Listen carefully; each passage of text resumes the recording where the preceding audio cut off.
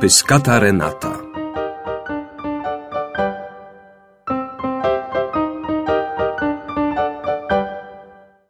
Mamusia była zła.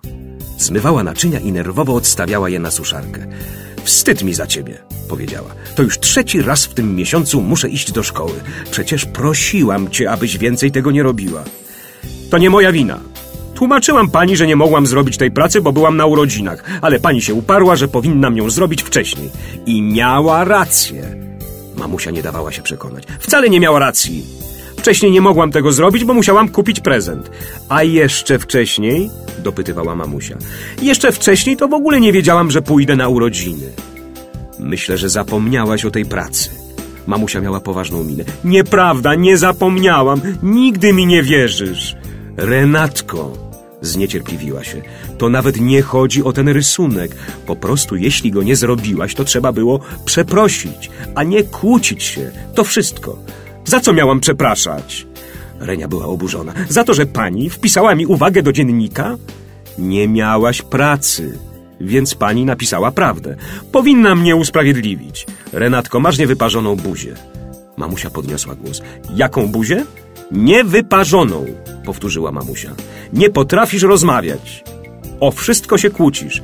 Wcale się nie kłócę, powiedziała Renata. Walczę o swoje. Walczysz na słowa, odparła mama. Tylko nie wiem po co. Nieprawda, ale skoro tak uważasz, to w tej walce jestem najlepsza. O, w to nie wątpię, rzekła mama. Jednak jeśli zaraz się nie uspokoisz, to będę musiała dać ci karę. Za co? Za to, że wygram każdą walkę na słowa? Zapytała Renia, której spodobało się to określenie. Mamusia tylko pokiwała głową, więc Renia skierowała się w stronę swojego pokoju.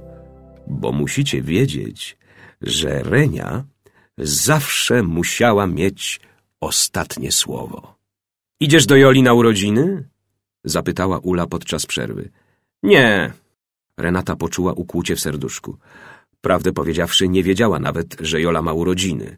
Dotąd wszystkie dzieci zapraszały ją do siebie. Nie zaprosiła cię, domyśliła się Ula. Nawet gdybym mnie zaprosiła, to i tak bym nie poszła. Rozzłościła się Renata. Jola jest głupia i będą straszliwe nudy. Nie zaprosiła mnie, bo wiedziała, że i tak nie przyjdę. Nie zależy mi. Pewnie cię nie lubi, ciągnęła Ula. Nic mnie to nie obchodzi, ja jej też nie lubię.